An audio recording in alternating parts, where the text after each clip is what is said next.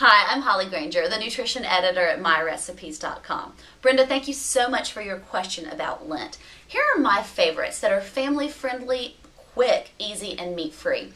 I love to make individual pizzas. Buy a couple different types of cheeses, a variety of veggies, and some pizza dough that you can portion separately. Let each person in your family make their own.